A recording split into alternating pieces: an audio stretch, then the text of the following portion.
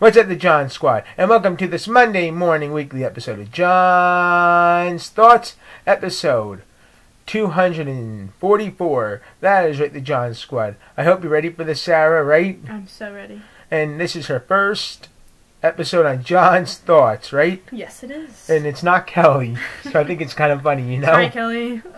right? So, okay, I talk about what happens in sports, right? mm-hmm. And and you just react to it. So here we go.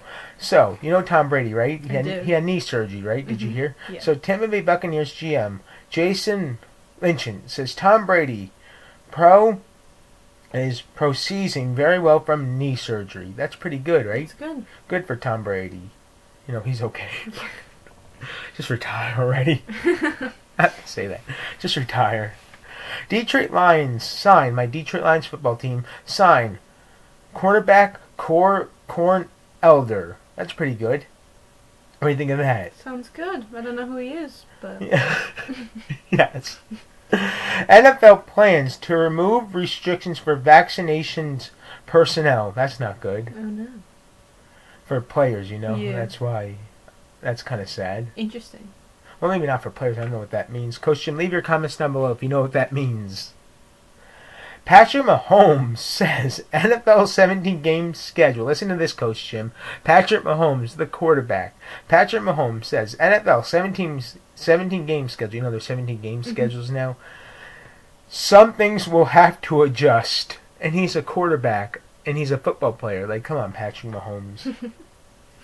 One NFL team actually voted against expanding the the regular season schedule to 17 games. And guess who it was, Coach Jim? It was your Chicago Bears. I had to get that out there. It wasn't the Lions, it wasn't the Chargers, it was the Chicago Bears. The Bears. Mm. It was your Chicago Bears who did that. Um, let's see. Uh, it was the Bears. Sorry, I hate to say that, Coach. And getting your team out there. Commissioner Roger Good- Goodell expects ha- to have full stadium for 2021 season. Ooh. Is that good? There'll be a lot of fans. You know Sidney Crosby, right? The hockey player. Yeah. Sidney Crosby named NHL's first star for the month of March last month. Nice. Dean Spanos' sister asked LA court to force Chargers sale. You know, she she's asking him to to sell the to sell the team Mhm. and get a new owner. So I think that's pretty good. Yeah. I think that's pretty good. You know, we need a new owner. Dean Spanos doesn't know what he's doing with the Chargers, so I think that's pretty good. Let's get somebody new in there. My quarterback for the Chargers, Coach Jim. Guess what he said? Justin Herbert. Chargers ready to be West Coast next Cinderella squad. That's pretty exciting. Are you excited for them? Yes. Hopefully they go to the Super Bowl. Uh, cornerback Ryan Smith signs with the Chargers. Looking forward to that guy. Chargers signed quarterback Chase Daniels. Not too thrilled with that one. I know he played for your Bears Coach Jim. I'm not looking forward to that one at all whatsoever. But he used to he played he played for my Detroit Lions and did terrible last season. But Mm. he's a backup quarterback. That's what he is. So hopefully Justin Herbert stays healthy. L.A. Chargers signed Jared Cook. That's a funny last name. Chiefs signed Michael Berta. Now you know Drew Val- Valentine, the basketball player, right? Yeah. Drew Valentine has been promoted to head coach of the Loyola Chicago men's basketball team. Wow. That's good for him, and I think he retired from the NBA. Now, now he gets to coach the Loyola men's basketball team, Nice. the college team. Guess you know Jayson Tatum of the Boston Celtics, my favorite basketball team. Mm-hmm. Well, guess what, Coach Jim? Jayson Tatum scores a career high for his best, 53 points. Woo! That's good. Let's go Tatum and the mm-hmm. Celtics. That's exciting. Now, on to college basketball, the finals. Baylor beats Gonzaga to win the national championship. And Gonzaga was undefeated Really?